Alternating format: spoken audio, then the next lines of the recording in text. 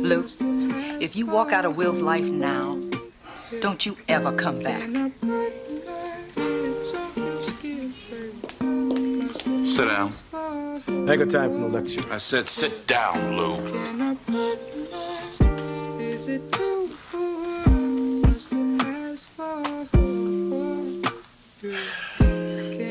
You know, Will was doing just fine until you showed up.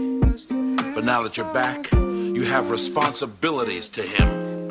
Look, we're still gonna take the trip. Oh, bull! Bull! Will is not a coat that you hang in the closet, then pick it up when you're ready to wear it.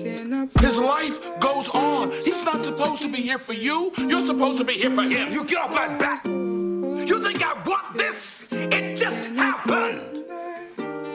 Now, when Will was a baby, I was scared. Oh, Cut the crap, all right? Cut it. Because I've been there. But I didn't run out on my family. I was there every day for them because that's what a man does. Fine, Philip. You win. You the man. You a better man than me. You happy?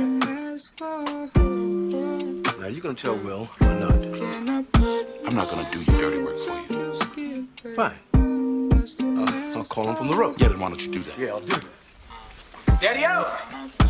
What's up? Will, I'm glad you're here. Um, some business came up I gotta handle. So we're gonna have to put uh, our trip on hold. You understand? Yeah, yeah, that's, that's cool. That's cool. Just, just for a couple of weeks. Mm, I understand. Yeah. Maybe a little longer. Yeah, whatever, whatever. Look, I'll, I'll call you next week and we'll iron out the details. Okay? Yeah, yeah. It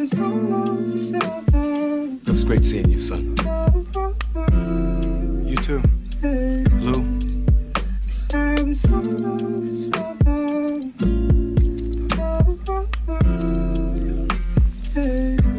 Yeah. Um,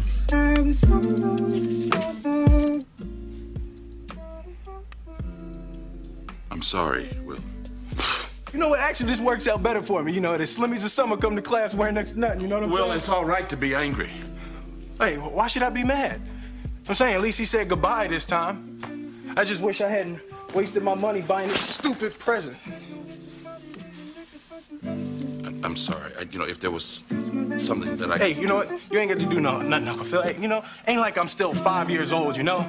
Ain't like I'm gonna be sitting up every night asking my mom, when's daddy coming home, you know? Who needs him? Hey, he wasn't there to teach me how to shoot my first basket, but I learned, didn't I? Hey, I got pretty damn good at it too, didn't I, Uncle Phil? Got through my first day without him, right? I learned how to drive, I learned how to shave, I learned how to fight without him. I had 14 great birthdays without him. He never even sent me a damn card. The hell with him!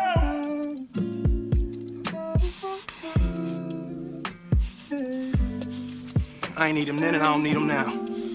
Will, Nah, you know what, Uncle Phil? I'm gonna get through college without him.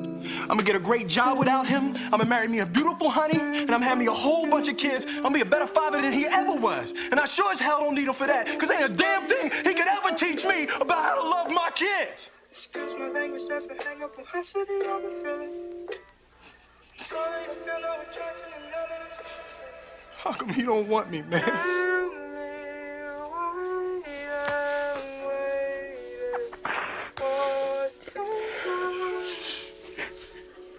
Fuck about me.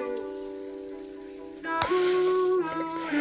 tell me why I'm waiting for couldn't give a fuck about me. So you said he found somebody else, and I prayed that that was just a lie. So I said I loved you one more time, in case that would change your mind.